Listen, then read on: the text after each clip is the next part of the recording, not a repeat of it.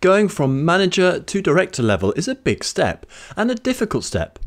Firstly, there are few board director positions relative to senior manager positions. To secure one of the few director positions available, you need to stand out and operate in a different way from your peers in senior management positions. Understanding what mindset shifts are needed to make the changes to stand out is critical. My first board director role was moving into a large company that was about to fail. It only had a week or so left of operating costs in cash. It was a high risk move and exactly the challenge I was looking for. Having the confidence to make difficult decisions and create change came from all the steps I took and experience I gained before I moved from manager to board director. We saved the company and I was responsible for helping generate over £24 million in cash in the first 24 months as a board director. I'm sharing some of the key changes when going from manager to board director and how to prepare for those changes, which will make getting your first director role a lot easier. We are covering firstly, moving from manager to director requires mindset shifts for success. Secondly, getting your first director role is a double promotion and third, seven actions for how to go from manager to director. A lot of people ask what steps do you take to stand out and get promoted into a director role? There is a lot of actions you should proactively take and I'm sharing what has worked for me and many of my coaching clients. So firstly, moving from manager to director requires mindset shifts for success. At each level, as you go through the management ranks, you have to continually adapt to how best to operate at your new level, and going from manager to board director is no different.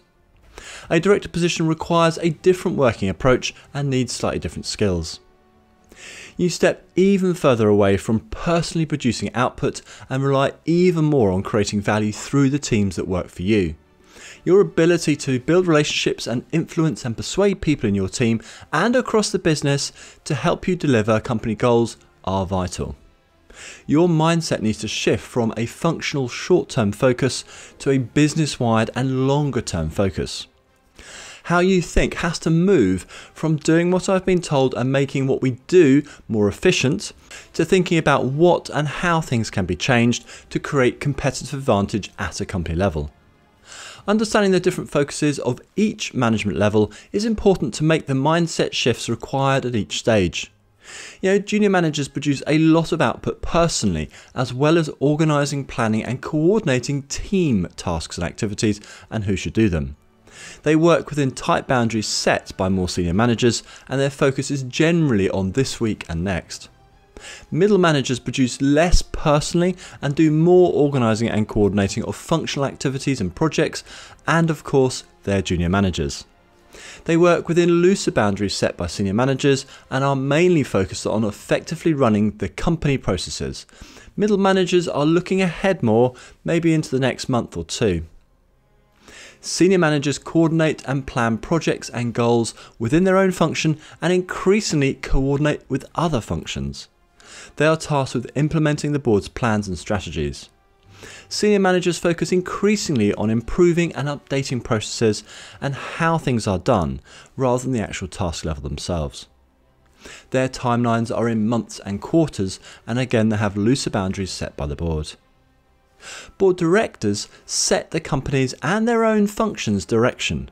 You know, they decide on how to respond to external changes in the market, to competitor actions, and to what customers want. They run the business as well as their function. They only have boundaries set by their fellow directors and potentially the business owners. Directors are focused on direction, what needs to change for business success, and organising and coordinating their senior managers. Directors' timelines are in quarters and years. Moving from manager to board director requires you to solve problems that impact the company, not just your functional team. Cross functional working and influencing and getting commitment from those that you don't report to you becomes increasingly important at senior levels. Achieving results from teams across the business means developing different skills to be effective. Change your mindset from thinking about your team and function to thinking about what is best for the business. Next, getting your first director role is effectively a double promotion. As a senior manager, you are typically the number two of a function. You have a more experienced person above you to make the decisions about functional strategy and tactics, what areas to focus on to change and improve, and the final say on who to hire, etc. You have a person to use as a sounding board and get sign off or permission for the difficult decisions with big impacts. This gives you quite a bit of protection and confidence. Move from manager to director, typically into your first director role, and all those decisions are now on your shoulders. You don't have someone to turn to. You are now the head of your function, and you need to set the direction and strategy to best align and support company success. The full responsibility and ownership of all the functional decisions now sits only with you. This is a big jump in responsibility. To add even more pressure, you are also joining the team that is running the company. You a promotion into a second role running in parallel to being a functional head. Helping run the company means thinking about a much wider range of problems and having to put yourself in many more shoes. You can't just think with your marketing, sales, or finance functional hat on. You have to think from a lot more angles and consider all departments and functions to make the best decisions for the business. This is another big step change to take from a mindset perspective. In addition, there is even more pressure because your performance is even more in the spotlight. More people are watching what you do and what you deliver for them and the company. Your job security drops as you get into more senior roles and takes another drop at board director level. The level of your impact and influence is such that you need to perform. If you don't or can't perform, you will be replaced quickly. The company simply cannot afford to keep an influential person that is not improving and helping the business be successful. The combination of increased scrutiny, increased responsibility, and increased impact is daunting for many. You know, it takes 6 to 12 months for most in their first director role to get confident and be comfortable with the increased pressure and scrutiny. Next, we're going to cover 7 actions to position yourself for promotion from manager to director level.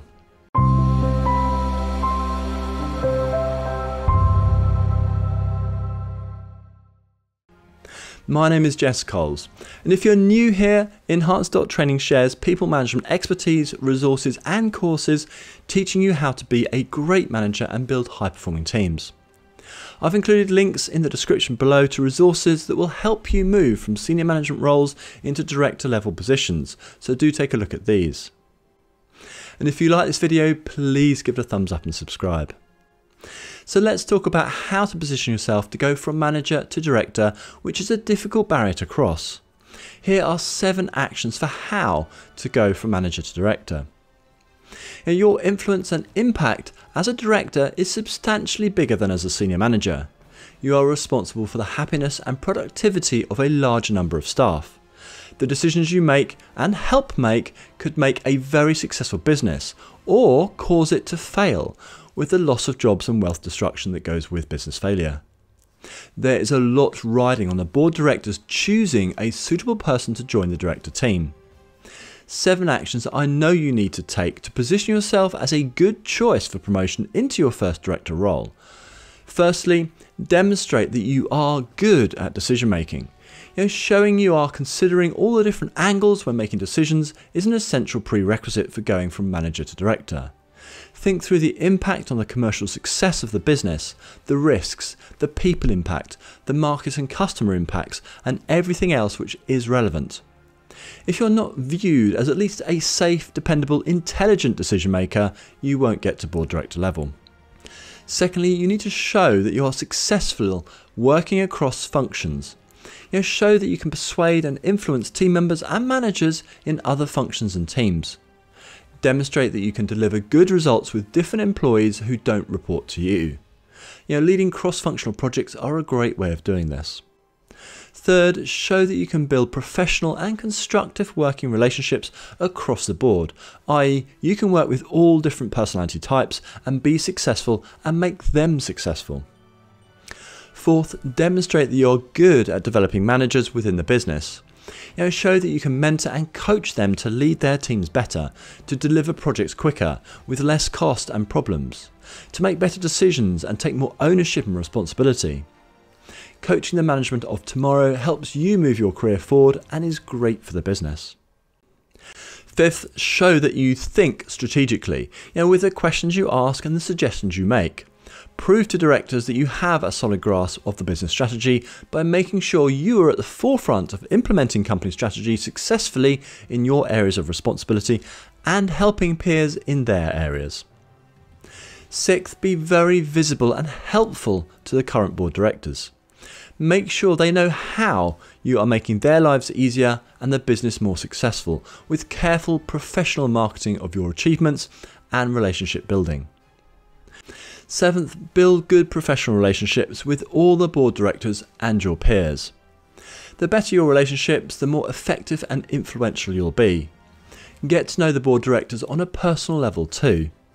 You know, they need to know and like you as a person and get good insight into your character before they will want you to join them. How well you position yourself, your skills and experience, and the results that you can deliver will make the difference between being considered for your first board director role or being stuck in senior management positions for your career. I've coached many senior managers into director promotions. A coaching program with myself should help you be more confident and take the right actions to put yourself into contention for your first board director role. To bring your promotion closer, and if you think working together might be a good fit, I invite you to click on the link in the description and book an exploratory call. There is no obligation, it will be a discovery call and not a sales pitch. Learn more by clicking in the link in the description below. So, in summary, positioning yourself for a director role needs intelligent actions to demonstrate that you are ready for the different way of operating needed to be successful and you're ready for the additional responsibilities and pressures. You absolutely want to be successful in your new director role, especially as job security drops the higher you rise. The seven actions I suggest you take are firstly, demonstrate a strong decision making approach and skills. Secondly, show your ability to deliver results in cross functional work. Third, build good relationships with all employees. Fourth, show you are good at developing managers within the business. Fifth, demonstrate your strategic level thinking and planning. Sixth, make yourself visible and helpful to current directors. And seventh, build good relationships with board directors on a professional and personal level. If you have any questions, please leave a comment below and I'll get back to you. I've included links in the description below to resources and a coaching option for you, so do take a look at those. Thanks very much for watching, and I look forward to speaking to you again soon.